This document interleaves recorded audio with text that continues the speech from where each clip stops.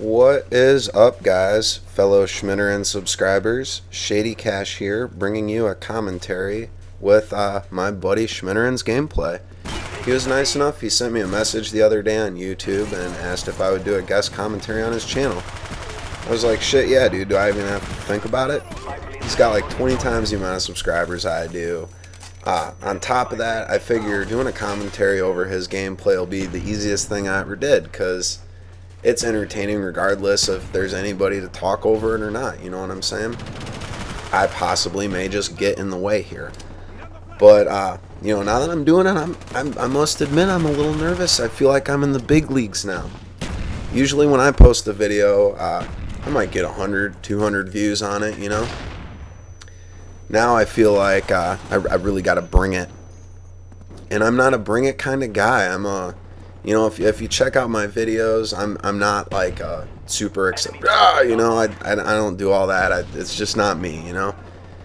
I'm, uh, my, my style is kind of, I just, you know, I, I like to talk about stuff that's going on in the video game industry. Uh, you know, like any kind of news that might be important to playing video games in general, you know, just stuff that I think you guys would like to know about, you know, like, uh, done a commentary on Infinity Ward, you know, and Activision and all the stuff going on there, you know, for an example and everything like that. You know, and that that's just kind of the style of my channel. I'm not, you know, super excited guy. I'm not, you know, I, I like to entertain, I guess, you know, and I hope that when people listen to my commentaries, they're not like, damn, this dude is fucking boring, you know, like get on with it already or just mute that shit so I can watch the gameplay.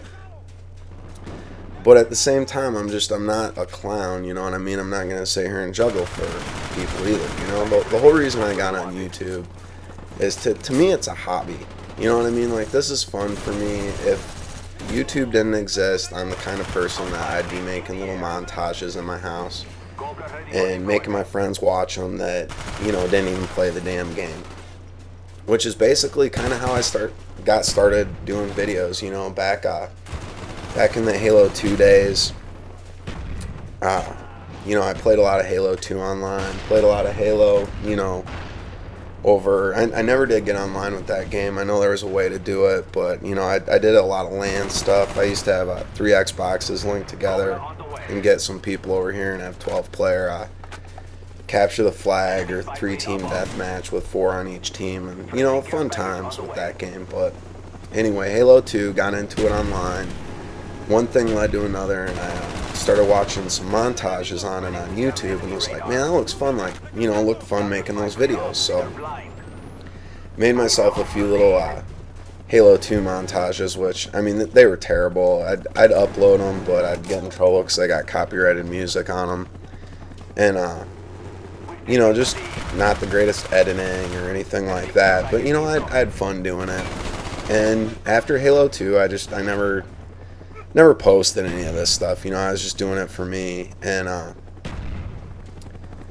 yeah, you know, just kind of got out of it. Never really watched videos, and never heard of Machinima or anything like that until I got my phone. I got an Android phone like I don't know last year or sometime, and was looking around on the App Store for video game related apps, and I come across this one called Machinima, and I'm like, oh, Machinima, you know, I know what that is. Red versus Blue, I love that show, you know.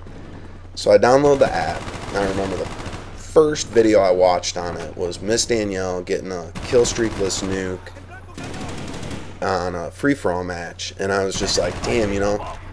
I mean, it was insane gameplay. It was fun to watch. You know, I, I liked it, and uh, you know, started watching other videos on there, watching some montages and stuff, and it was like, man, you know, I, I used to have a capture card. I had fun doing that, you know, and uh, Never could do it though with Modern Warfare 2 because it didn't have a theater mode, and I didn't I didn't have an HD PVR, and I wasn't about to sacrifice you know playing in 1080p so I could capture a match and do a montage thing. You know, so I never really got into it, and then co along comes Black Ops with its theater mode, and I was like, hell yeah, you know, I still had my little uh, $40 janky standard definition capture card. So I hooked it up, you know, hooked my Xbox up to it, made my first little Black Ops montage, which, again, much like my Halo 2 videos, is not good editing, you know. all that. But I had fun doing it, and this time, you know, I was like, hell, I'm gonna I'm gonna upload it to YouTube, you know, and one thing led to another, and did a commentary, and I've uh, you know, been doing some stuff on YouTube member now, I guess, and when I was first getting back into it, and like I'd be at work bored and watching videos on YouTube, somehow I stumbled across this video of 115 and 7 domination on Nuketown. And I was like, what the hell? That's got to be a misprint or something. I was like, you know, that's it's got to be like the domination score. Like the the match ended and the time ran out and it was 115 to 7. No. I, I go click on this video and it's this dude just beasting, beasting on this other team, going 115 and 7, domination on Nuketown. And I just, I still remember the comment I left. I was like, damn, dude, however many subscribers you have, it's not enough. When subscribe, look, he has like, you know, at the time he had like what I have right now, like 200 some subscribers. And I'm just like, wow, you know, I mean, one of those people I just really thought deserved to be recognized and noticed. And he's, he's been on a couple top tens now and definitely getting his videos out there more. Now he's got like 2000 some subscribers but I, I can guarantee you if i ran across that video today for the very first time and knew he had 2000 some subscribers i'd still be like damn dude you know it's it's not enough because the guy is a beast. And i'm not saying that just because he let me come do a guest commentary on his channel i'm saying it because i mean the video speaks for itself, guys, you know? Running around, stock class, and look at the score. So, yeah. Anyway, thanks, Schmidteren, for letting me come do this, and thanks, guys, for listening to me babble on. Uh, if you liked it, you know, come check out my channel, and if you didn't like it, either way, don't punish him. Give him a thumbs up. I can it's not my video. Peace, guys.